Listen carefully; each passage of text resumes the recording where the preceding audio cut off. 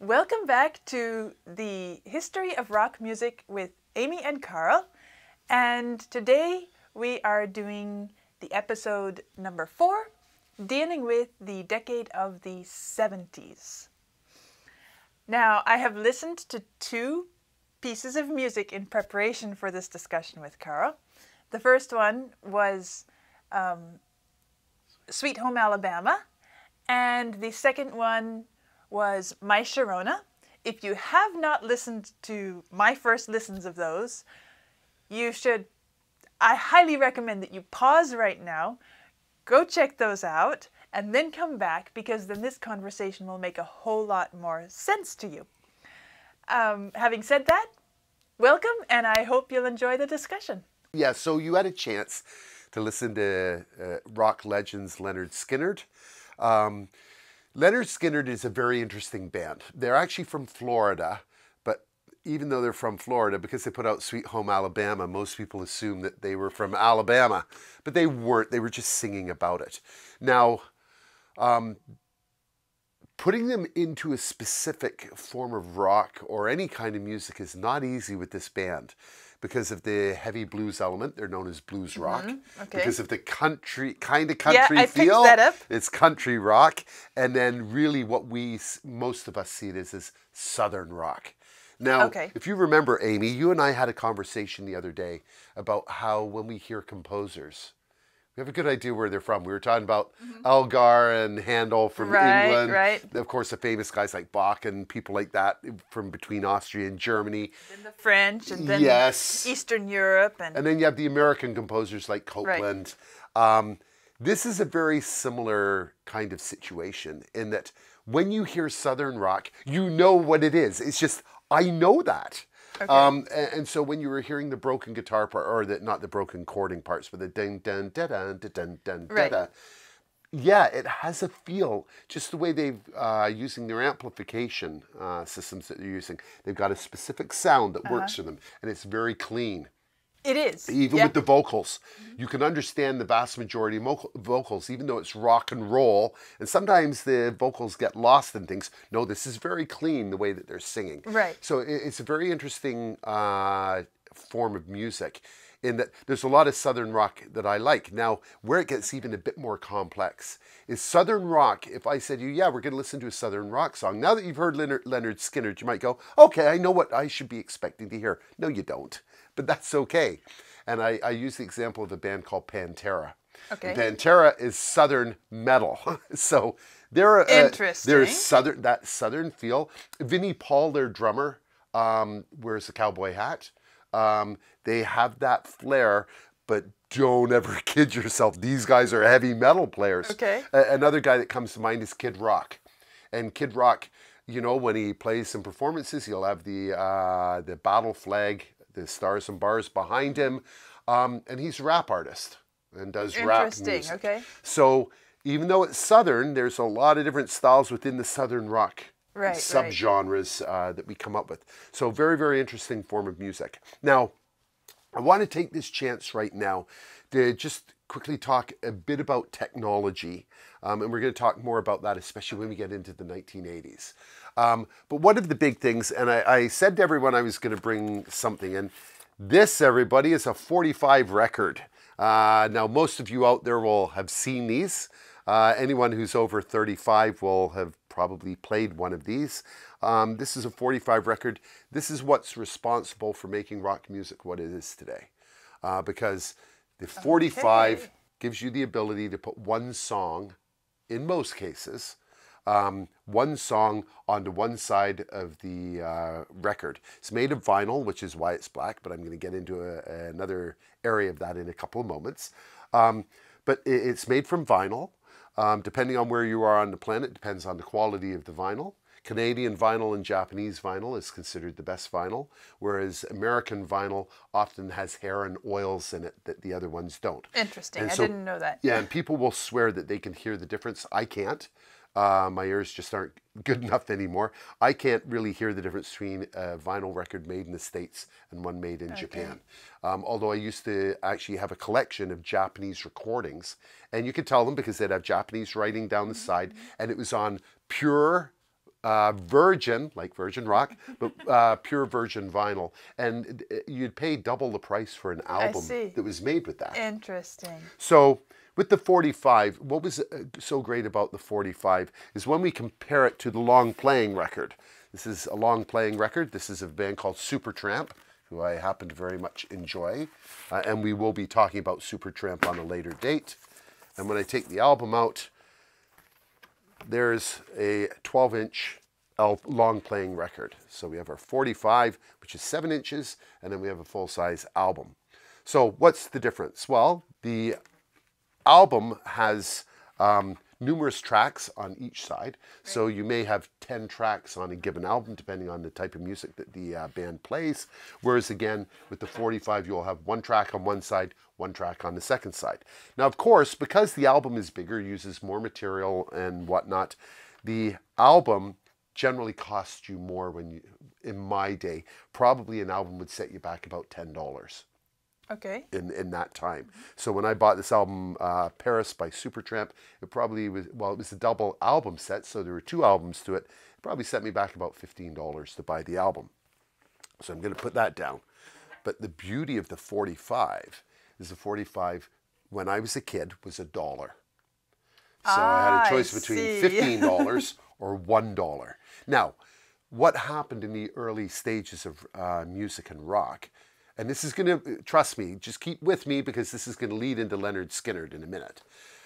The beauty of this is if you had an album out there, you might not like five of the tracks off the 10 track album, but you still had to pay for the 10 mm. tracks. The beauty of the 45 is you could buy the song that you wanted. Right. Yes, you had a second side, which had a second song on it. You didn't care about the second side, although sometimes you would if the first side was not as good as the second side. Uh, but we, we used to buy uh, 45s because they were inexpensive and it could get us the music see, that we really enjoyed listening to. Um, so that's the idea behind the 45. Now, when you were a young teenager in the 50s or 60s, you were probably purchasing these because I never value. purchased any. I, I guess I came along too late for that. But my parents, when I was a kid, had a record player, and of course, my grandma had a record player. So I remember placing them on the turntable and setting the needle and yes. and then but it was all classical sure, in my world. Sure, so. of course. and then the last thing I wanted to show the audience, this is an album I got autographed by the drummer of the band. Um, and the reason I bring this up is because this one's on green vinyl.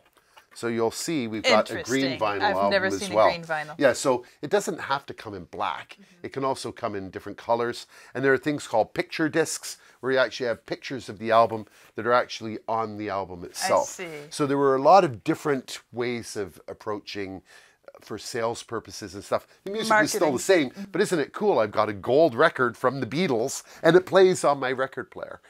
Now, why is this important?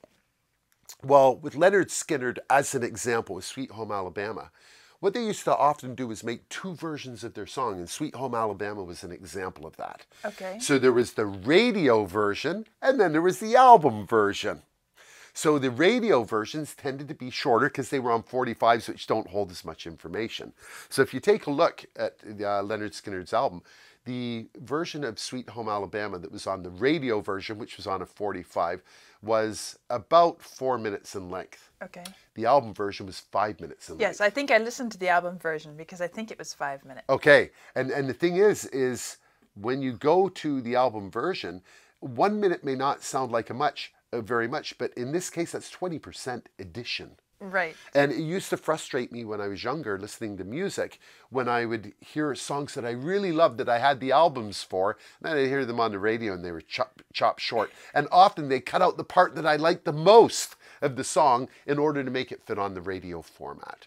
So this is where technology starts to come into play. And I didn't get into 78 records because 78 records they were kind of out of fashion by the mm. time the rock and roll genre started to come really heavily into play.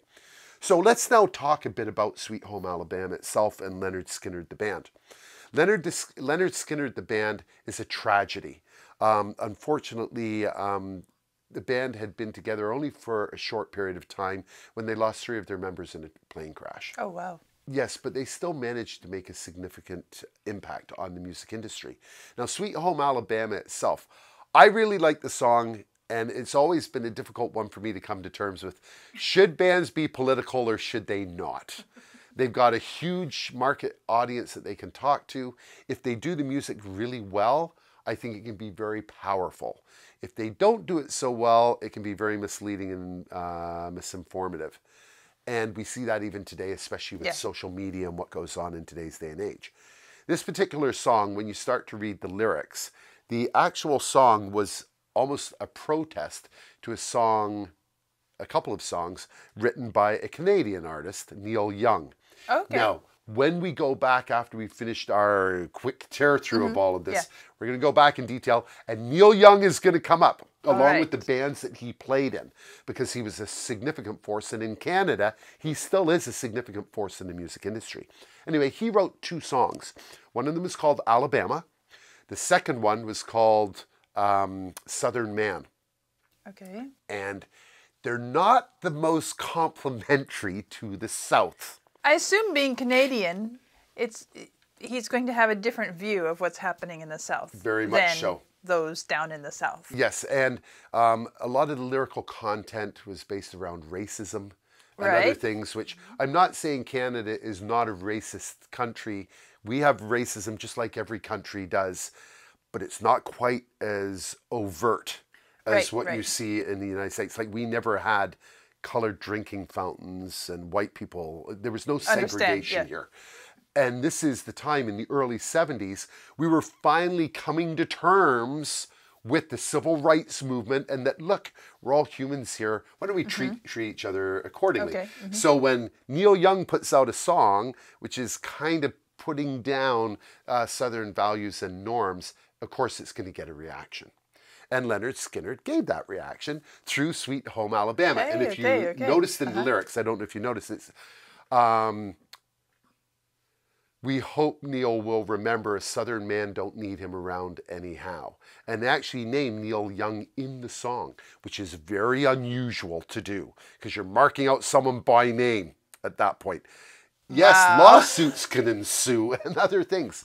However, what a lot of the public that was listening to the song didn't understand was these musicians had great respect for each other. And I'll get more into that in just a moment. But even again in the song, they talk, talk about um, they loved their governor, boo, boo, boo, and we all did what we could do. That was about uh, uh, Wallace, Right. and he was very much a segregationist. I I know. you know, segregation today, segregation tomorrow, segregation forever. Um, and so, unfortunately, because they put that into the music, it now sounds as though they support him. And Lynyrd Skynyrd, uh, from my readings about the band, didn't really support uh, didn't support Wallace in his view. Okay, But what they were trying to point out was that Southerners are very different. Some Southerners look at the world this way, others look at it this way. Totally fair. totally true. Exactly. But what was happening was the listeners were reading it the way they wanted to. So again, if you were from the north, you might listen to it one way, and if you listen from a southern perspective, you may hear it a different way. And again, even in the lyrics, they they talk about um, Watergate. Does Watergate bother uh, bother you? Tell me true. Um, and the hypocrisy of the North, in that we can judge you in the South, but we got problems too. So be very careful uh, of what you say about people.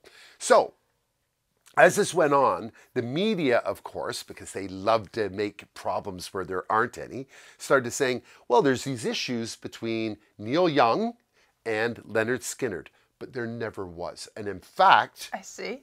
Neil Young or um, Lynyrd Skynyrd, um, th- their singer, used to wear a Neil Young T-shirt on stage. Neil Young had a Lynyrd Skynyrd. It was a bottle of Jack Daniels on his T-shirt, but it was from Lynyrd Skynyrd. These people really respected each other, but the the fan base didn't really understand this, and it comes up to this is something that's very important to understand with rock music musicians, because of their artistic nature, need to express themselves. And rock is really big into that. And if you remember when we were talking way back when about rock music, that lyrics are incredibly important. Right. And they're often controversial Right. and they raise problems because Right. no, we're going to say what we honestly believe. this is one of those examples where that came forward.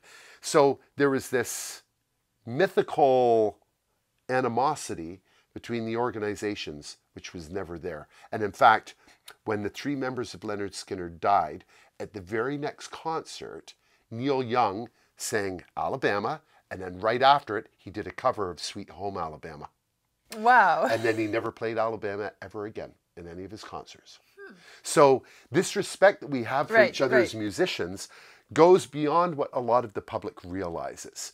Um, and even as late as the past couple of years, uh, the final member of uh, Lynyrd Skynyrd, who's still alive, made the comment that it was the song wasn't against Neil Young. It was about the song he wrote, and I think we can all learn a tremendous amount from that. In that, don't attack a person. If you don't like what they've said or done, attack what they've said or done, not Right, the right. And uh, I think, if anything, even though um, Sweet Home Alabama is such a well known song, it's bringing forward a, a different message that I think people are missing out on. The final part I wanted to quickly bring up to you about Sweet Home Alabama is the idea of the hook. Okay. Dun dun da da da dun dun da dun da dun dun da da da da da da da da. And it goes on and on and on and on, And on which and is on and very on. common for Lynyrd Skynyrd. They like to repeat things. But if you like that riff that they're playing, they've got you hooked. I see. I see. You're going to sing that again and again. And in the future, Amy, I'm telling you, if you ever hear dun dun da dun da dun dun da, you're going to go, hey, I, I- you may not even remember it was Lynyrd Skynyrd that you uh-huh, heard from, but uh-huh, you'll right. immediately know what that song is. Okay. Or if you hear other bands that use similar styles, you're going to say, that reminds me of so and so and so and so. And bands like Lynyrd Skynyrd influenced other bands that would come after them. In their case, especially in the country rock and southern rock genres, Makes they were highly influential in what they were doing. So I admire the band. I respect the band. I can't say as I'm a fan, uh, but I do love the song Sweet Home Alabama, and I played it in God knows how many bands I've been in. And I always enjoy playing it because of the simplicity of the song, right? but also there's a strong message. And this is a dichotomy you're going to see again and again in the rock genre, where you may have a tune where it's repetitive, maybe even boring to you, but the words are very significant, and vice versa, where you'll have a tune that can be quite complex and engaging and pulls you in, but the lyrics are, quite frankly, they're nonsense, but that's okay because that's the way that we uh, approach the music. So, on what I've just told you, what questions? I, or- I was just going to say that one of the things that I noticed about that song was how there were so many different musical references and, and pulling from different styles. But at the same time, I appreciate how direct the music sounds. yeah, And it took me a few minutes. It was after I did my first listen before I put it all together and, and was able to articulate. It's the directness that is quite satisfying in that mm-hmm. piece of music because you have all these different strands coming into it, and then it ends up being not a mishmash or a tossed salad, but something that is very solid and well placed in its own direct setup. agreed. Uh, to me, I see it as clean. It's Mm-hmm. Yeah. getting straight to the point, which is one of the fundamentals of being a rock musician. Is get your point.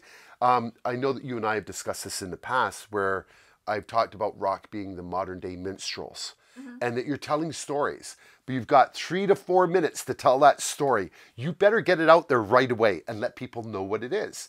And even with the 45 example that I was using earlier, is guys, you got four minutes, get it out. And she Loves You, a very short song. Yes, it's because there wasn't a lot necessarily to say in that song, but it wasn't the purpose of the song. It was to get people's attention. It was to get people dancing and moving, as we've already discussed. Mm-hmm. Lynyrd Skynyrd, in their particular case, grab you with a hook right away. That Yeah. draws you in And now let's give them the message that we're trying to convey here. And they do it incredibly effectively. And They do. that's what I admire about them. When you listen to this song, Mm-hmm. and then we go back and we listen to Shaboom Shaboom, or we listen to Rock Around the Clock, um, or the 60s songs that we listen to, The Boxer, for instance, do you feel or see a semblance of movement in a direction, or do you see how things are progressing in a given direction, either musically, um, compositionally, or just the sound of the band? Is there anything that sticks out to you at this point? And if there isn't, it's fine, because it's going to, I promise you, over the next couple of Right. uh, meetings that we have. But is there anything that stands out at this point for you? I guess it's very obvious that the music is changing. Um, I don't know if I can quite say that I think it's moving forward Yeah. it up to this point or is it simply just evolving? Sure. Um, representing or or becoming something different. Mov- moving forward to me is is kind of a tricky term to classify. What do we mean by moving forward? Is it is it developing in a certain direction if so what is that direction and i i guess i don't have a solid sense of direction Right. at this song, but it's obviously changing. I can say Sure. definitely everything up to this point is very different. Yeah. uh, And uh, then and then of course I've listened to the other one for this episode as well. Um, the Knack. yes. And that one also is very different. Right. So I don't know if I can say that it is moving forward into that, or if that is simply a new something that has grown out of it and it's changing. But I don't know yet if we're leaving this behind or if it's if it's splitting or if it's yeah. I, I think the best uh, the best word that you used was evolution. Yeah. It's evolving. You've got this core, Right. and it's now starting to branch out into all of these different Right. areas. Because because the boxer yes. that one doesn't really feel like it doesn't feel like this Sweet Home Alabama is a progression forwards from the boxer. It feels more like it's something new, it's something different, perhaps a branch, perhaps um, an evolution, but I can't say that it sounds like we've moved forward musically Right. from the boxer. So, but like what you said, what is forward? Right, exactly. I don't know what forward is. Right. No, it's just different. It's different, And, and it yeah. appeals to different people for different reasons. Yeah. But what I love about all of this is that it still has those core elements that came right back from the 1930s when we were listening to the jazz and the Right, blues. and I am It's getting that there. sense. Uh-huh. It's still there, even though it's morphed into this thing that you're going, wow, that doesn't sound like anything I've heard before but I can still hear the origins. And that's why it was so important that we do this quick overview right, right. because when we get into things in detail, and now you'll then start to make even more relationships and Right. go, okay, I see how we got here, um, as opposed to, oh my God, it, it's changing dramatically. Yeah, it is. and I also have some reference point about where it might be going because when we get into the details, I will have heard a bit of the future as well. Exactly. Moving into My Sharona, which was the other one that I listened to, um, there were a couple things that I picked up on that one. One was the the very systematic entry, which, okay, the other songs that I've listened to, there's been layering and, and stuff like that, but this sounded so, so systematically organized in the way they set it up. From the drums to the bass to the guitar to the voice, I, I actually was able to predict that it was the voice coming next, even though I, I knew nothing about the song. And then, of course, the rhythmic element, which carried through not just the drums or the bass, but all all members of the band, all parts, including the voice. Um, I guess I guess that's the most rhythmic use of vocals that I've heard up to this point. In in this journey, and I'm curious about that a bit too. Sure. Okay, um, we're getting into a very turbulent time on the music industry here. Um, we'd gone through the classic rock phase, which and the progressive rock phase, which was the early 70s. We haven't listened to any of that yet. That's coming later when we dive into things more deeply. We had disco during the 1970s, we had punk rock during the 70s, and all of a sudden this new sound started to come out, which we called new wave. Arguably, the Knack came out with one of the earlier, what we call new wave uh, songs. New wave. And where did that new wave term? Is it just because it was a new style coming Yes. in? Okay. Yep. And new wave, which came out of punk rock, Okay. but also had huge influences from the 1960s. okay. This clean sound, the drive back to that not happy but very groove oriented Yep. that you've identified. Um, so when the Knack came out with this, whether it was conscious on part on the part of the band or it just felt good the way they were doing it, by putting the drums up first and allowing them to play, is now the hook. Like we looked with Uh-huh. Lynyrd Skynyrd. So Right. you still got a hook there, but now it's not with the guitar and melodic. It's now rhythmic. It's a rhythmic hook. Because you've got that hook and you've drawn the person, you want to hold them there for the three minutes you're going to play or the four minutes you're going to play the song for. This song is a cla- classic version of that. Now, you also hit on something very important from a rock musician's perspective. I am a rock musician, although I play other forms of music, and I'm a drummer. And as a drummer, I look to the bass guitarist. Now, what I mean, and here we get into the education portion of how rock music goes together. When we're composing songs as rock musicians, generally, this is a principle Okay, I'm getting into uh-huh. now, the bass and the drums will set up the rhythm section. I see.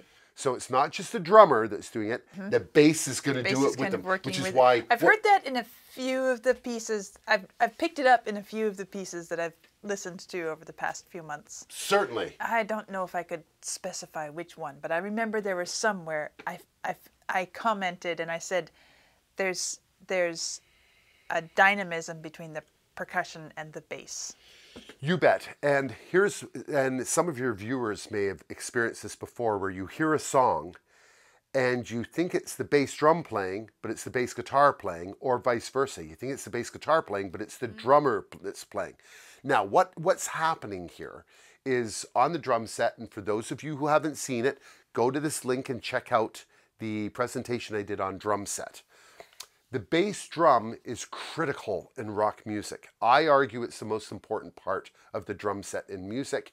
And because I think the drums are the most important part in rock music, it is the most important part of the instrument of Okay. the music entirely. The bass player will generally play their notes based on what the bass drum is doing. I see. I see. The two of them locked together, which now becomes greater than the sum of the two parts, you get this, oh my God, there's the groove. I can Okay. hear Okay. it. Right. The guitarist, which can also go along with those, but doesn't always, you now throw that on top. Now you got the ba da da da dun dun dun dun da da. It's mimicking the drum set. Yes. It's mimicking the bass bass Yes. guitar. Now you got the guitar, and as you've already pointed out, when the vocals come in, they're mimicking all of it as well. Exactly, exactly. It's a very, it feels very vertical to me. Where, is. Where It everything is. is is focused this way as as how they mesh and It stack. is very cohesive. Mm-hmm. Now, do you remember you and I had a conversation a few days ago? I was talking about how I'm not a great jazz player mm-hmm. and that I'm a rock yeah, player. Yeah, I remember you mentioned. And how I've spent years, I've spent literally years and years listening to a metronome, trying to get my playing exactly on beat. Whereas with a jazz player, no, I'm afforded this opportunity to move. And when we look at blues, you call it squishy. Squishy. There- there's room for maneuver. Rock music, generally, there is not room for maneuver. Okay.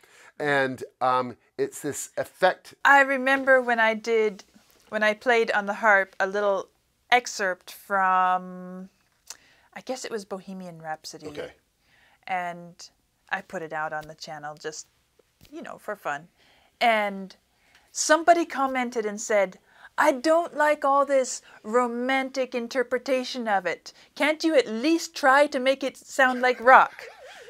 Well, I'm a harpist, and this piece is very has a lot of classical influence. So of course that's what I picked up on. But it was so interesting to hear back from someone saying, "I don't like what you did. Right. I don't like what you did. It's it's too too fluid, too Yeah. flexible." It's not open to interpretation here. Yeah. No, you're going to play what's uh, being required.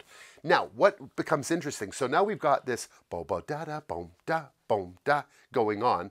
The bass drum is driving it. The bass is copying it to pull things in. But then they make a counterpoint to it using the snare drums. And in the snare drum, they use something called a flam, which is why I have my snare drum and a pair of sticks here, because some of your audience may not know what a flam is. A flam is called a rudiment, um, and a rudiment, as the name implies, is a fundamental that we use as drummers.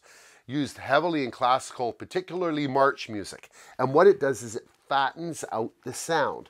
And so this is what a flam is. Check this out. What you've got is you've got one stick coming down and the second one comes in right after it. Right. So it's not together, it's it's fattened the sound. And let me take the snares off there. That is very important, especially for a song like this, when because the bass drum, even though it's slight, it has a more legato sound than a snare drum, which is that real crack short sound. Mm-hmm. By doing a flam, it's now counterbalancing the bass drum, but it's still got more of a legato sound because it's longer. See, see, And therefore, right. by doing the two of them, they complement each other really well. Even though one is high pitched in a crack, the other one's low, uh, low sounding. Now you could look at that and say, yeah, well the bass is, bass guitar is doing what the drum bass drum is doing. The bass guitar has a legato is lengthening sound. the sound. The Right. guitar will tend, because it's more trebly, will tend to sound shorter and get lost in the music. Well, the snare is now complementing the guitarist at the same time. So, what the drummer is doing, and what all really good rock drummers do, they hold the band together by what they're playing on the uh, instrument. Unlike in classical music, where you have multiple of different instrument Right, instrumentalists right, right. with the conductor who's holding them together, in rock music, it's your drummer that's holding that position down. Okay. And you'll get arguments out of guitarists. No, that's not really what. It, yeah, I'm sorry. I'm here to tell you, it is the way it is. the drummer is the foundation I'm for it. sure. I'm sure you guitarists also have a very critical part. You better the believe they do. So Could you imagine going to a I'm- dance and it was only a drummer all night? Oh boy, that sounds exciting and thrilling. So yes, it, it, it certainly doesn't take away anything from the guitarist, the bass player. But this yeah, is but it's it's the it's the collaborative element where each It one is. has something to contribute, it is now. and that's why I love small ensemble playing. Sure. Personally, as a classical musician, I love being in a small group. Not okay, a full orchestra is fine where we have to follow a conductor and all of that. But when we are in a small group, two, three, four, five of us, each with our own instrument or our own part to contribute, there's no one instrument that is in charge of the entire thing. Each one of us has something to contribute to that. And I guess I guess I feel like rock bands are kind of like that. They are. So the drum is contributing one part of it, the guitar another, and and it's all feeding into the to the whole balance. certainly you've made a really excellent observation. The, in my opinion, the quintessential rock band is the power trio. Okay. Bands like Rush, Emerson, Lake and Palmer, The Police, um, all of these bands had three members in it. And think of it very much like a stool, a three-legged stool. You pull one of those legs out, the whole thing collapses. And it's the same with this. As, as a musician in a power trio, and I played in power trios and just love it. What ends up happening is you are playing a really important role to fill out that music. And if for some reason you either make a mistake or things get lost or they're not working, the whole thing collapses in it and it has a certain amount of stress it places upon you to make sure that I'm dead on. Now, Yeah. that goes back to what we were just talking about about this verticalness. Mm-hmm. It's dead on time. I'm staying on time. Especially with power trios, that is a critical element, which is why I'm a poor jazz player. I have difficulty with the big groups where there's stuff going on all over. Yeah, but where are we driving this whole thing? Well, don't worry, see, Karl. see, Just relax. right? But I can't. I want to know where that beat is and where the downbeat is. Um, and it brings up the idea of the backbeat, where the bass drum is playing on your forward beat, your one and your threes generally, and the snare drum almost always is playing on two and four, Okay. the backbeat.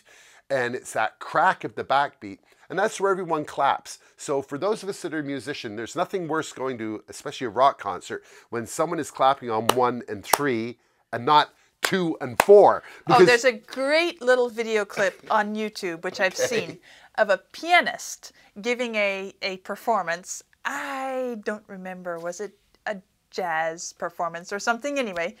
And the audience was all clapping on one and three. and it's brutal. And it was brilliant what he did. He threw in one bar Yeah. of 5 4. Yes, and it brought and, everyone back and on. suddenly everybody was where he wanted them to be and it's just a it's a fun one to watch i'll have to see if i can find it for you Well, it- of course, a corollary to that is as a professional drummer, I will sometimes go to things and clap on one and three just to be the nerd crazy. or the, the, the horrible person at the show, just to show. It, it, it's like fingers on a chalkboard. It's It doesn't feel right. I, I I once read a, a, a snippet where it said, Friends don't let friends clap on one and three. And it's so true. But anyway, getting back, getting back to what we're talking about here with My Sharona. My Sharona was the start of this new wave, both meta- Okay. metaphorically and literally, of this new form and style of music, which is pulling back from the 1960s. Um, My Sharona at the time was the fastest uh, song to move up the charts that there had been since 1964 when the Beatles put out I Want to Hold Your Hand. Wow, something's coming here. Something is Okay, triggered and uh-huh. connected with the audience, whereby this band comes out of nowhere, their very first song off their very first album, and it catches everyone. And I will the still, first being the first that's impressive to me yeah, certainly. And, and and the thing about it is, is the way the music is constructed, and it's what you brought up. It's that simplicity of that hook of the da da da dun dun dun dun. And I remember because I was 16 when the song came out. I remember all my friends. As soon as someone cracked into that, everyone knew what it was that you were talking about because it has that catchy feel to it. Much like with Lynyrd Skynyrd. Dun dun da dun dun dun dun dun. Right, You right, right, right. immediately know what it is, and that is one of the hallmarks of rock music. Is that as soon as you hear it, you know what it is. Uh, the all there used to be a show I don't know if you remember it called Name That Tune. I can name that tune in X number of notes. I see i see If you had to do this with this, and I can name that in one note, there's no questions. Yeah, that. Hey, that's got to be my Sharona. So it's very interesting that it had a lot of technical elements to it, which relate back to the 1960s music, but it's a very fresh sound, even though it's rehashing what's been done Right, before, right, right. which is going to be this underlying thing that you and I are going to go through again and again and again of yes, they went back to this period and pulled this music forward. which makes perfect sense because really anything new it's not really going to be new because there are only so many ways you can arrange and rearrange and set up and if you're trying to do something completely new and groundbreaking you basically have to go out of the realm of musicality Right. so it's more about new ways of of using the tools that we have available to us Sure. musically and perhaps applying it in a in a new way in a different way balancing it differently um, setting it up differently but but it's all music so Yep. we've had music for so many thousands of years it's going to have been heard somewhere Sure. you know just like um, some of the pieces i've listened to on the channel i've referenced all the way back to modal modal styles Sure. from from the middle ages just because yeah it's not the first time it came up Right.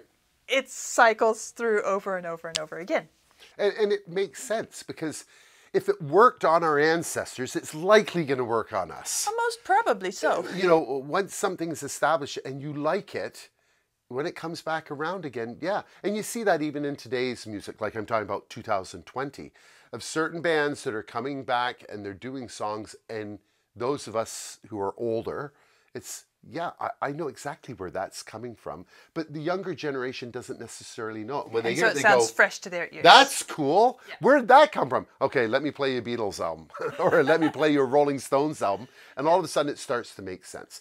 And that's why I also think that it's really, really great for us to be familiar with the history of the music. Agreed.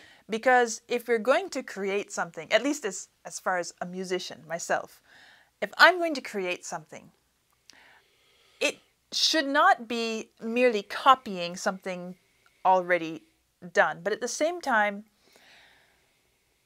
the more I know and the more I have in my in my awareness of what has existed and how it's been done, the more effectively I can take all of that and put it together in my own way Yes. for my own purposes and for the purpose for the benefit of the audience that exists in front of me today. And, and again, you you touch on a really good point. Um, there's a gentleman by the name of Gregg Bissonette. He's one. Of, he's in my top five drummers of all time. I, I just love Gregg Bissonette. He he's one of the nicest people you'll ever meet. In fact, I just saw him at PASIC that we just had that we that I went to. And for those of you who don't know, PASIC is the Percussive Arts Society International Conference that I was at. And unfortunately, Amy was not able to make it down there. Uh, when I was there, or up there in your case, because you were going north. We wanted to meet I was going south. Um, but yeah, uh, Gregg Bissonette was there, and Gregg Bissonette once told me in a I was in a class that he was uh, doing, and he said that great or good drummers um, will listen to other music, but it's the great drummers that steal the music. And he doesn't mean that we should all go out there and steal other people's music, but it's the influences. It's the, yes, this is really good. I'm going to take this, but I'm now going to make it mine. And if you can develop in a, in a way that is meaningful, Yep. then it's not simply just rehashing No. or reinventing the wheel. Certainly.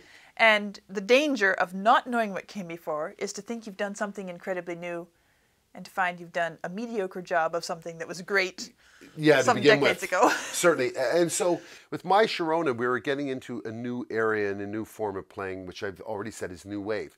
Now, new wave in its own right is this huge, huge area of music as well, which we will talk about in the future. Now, the last thing I wanted to talk about my Sharona uh-huh. is something called stutter rock. Okay. Um, there's a host of bands. The Who was really famous for doing it about uh, talking about my generation, which is a song that's on my list for you.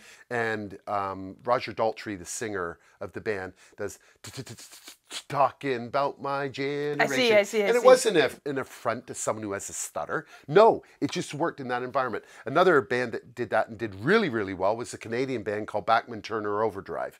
And they did a song called You Ain't Seen Nothing Yet. And it's You Ain't Seen n- n- Yet. And it's funny because, and we'll get into those songs later, but the band hated the song because of the stuttering. But it works really well.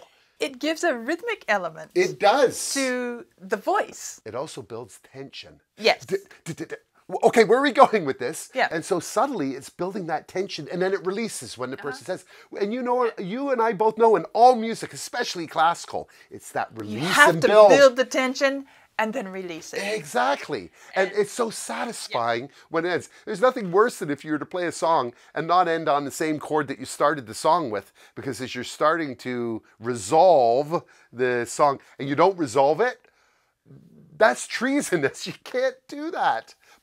Some why did we end do. up here? Yeah, and some people do end up doing that, and it's effective.